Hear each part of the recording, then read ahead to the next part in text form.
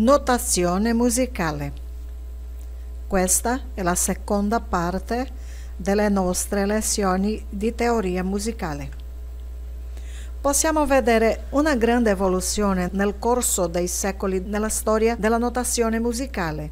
Il cambio della modalità di notazione avvenne perché all'inizio serviva da semplice riferimento affinché i cantanti non si perdessero nei brani eseguiti negli anni la composizione musicale divenne così precisa che fu necessario modificare ed elevare la scrittura musicale a un livello sempre crescente, cercando un modo per descrivere appieno tutte le note, le dinamiche e le espressioni desiderate dai compositori. Le composizioni erano dirette e impersonali, senza libertà di includere suggestioni emotive nei testi e chiamavasi neuma. Era uno dei sistemi usati per rappresentare la notazione musicale.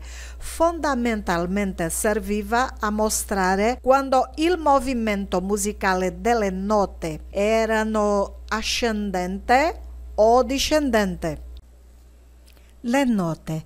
Se non c'è chiave all'inizio del pentagramma, le note saranno semplici sfere ovali, non avranno né nomi né altezze.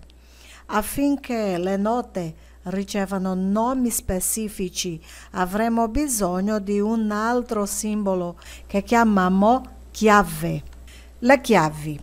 Il termine clave è derivato dal latino clavis, che significa chiave. Le chiavi servono ad indicare al musicista come leggere il rigo, cioè la chiave serve a dare il nome e l'altezza della nota. Sono scritti all'inizio del pentagramma poiché la notazione musicale è relativa Ogni nota può occupare qualsiasi linea o spazio sul rigo.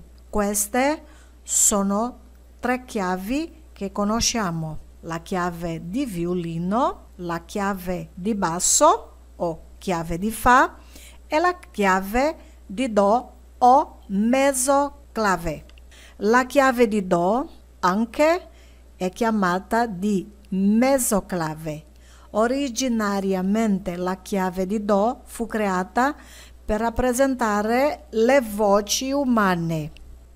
L'endecagramma. Nella scrittura musicale antica, tre chiavi erano usate con la fusione di tre sistemi musicali in quello che chiamavamo endecagramma.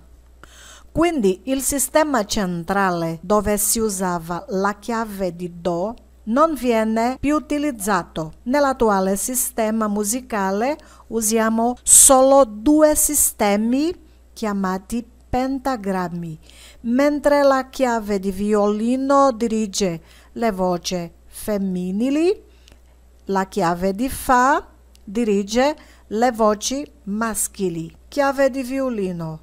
A chiave di violino o chiave di Sol è originata dalla lettera maiuscola G, attualmente utilizzata sulla seconda linea del pentagramma. Chiave di basso. La chiave di basso viene utilizzata per rappresentare le note più basse. È originata dalla lettera maiuscola F. Il simbolo è normalmente tracciato dalla quarta linea e indica che la nota Fa si trova su questa linea. Si noti che questa nota è tra i due punti della figura. Sapendo questo, possiamo scrivere le altre note. Bisogna sempre ricordare che in chiave di basso le note equivalgono a due toni avanti rispetto a quelle in chiave di violino. Così abbiamo imparato a leggere le note in chiave di violino e poi in chiave di basso. Vediamo la nota che scriviamo nella chiave di Sol, la nota Sol, scriviamo nella seconda linea. Però nella seconda linea della chiave di Fa dobbiamo ricordare che il nome è equivalente al nome di due noti avanti della nota di Sol, che è la nota Si.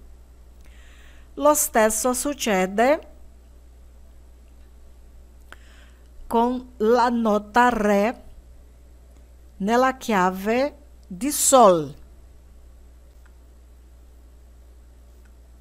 che è scritta sulla linea quarta, però nella quarta linea della chiave di Fa scriviamo la nota Fa.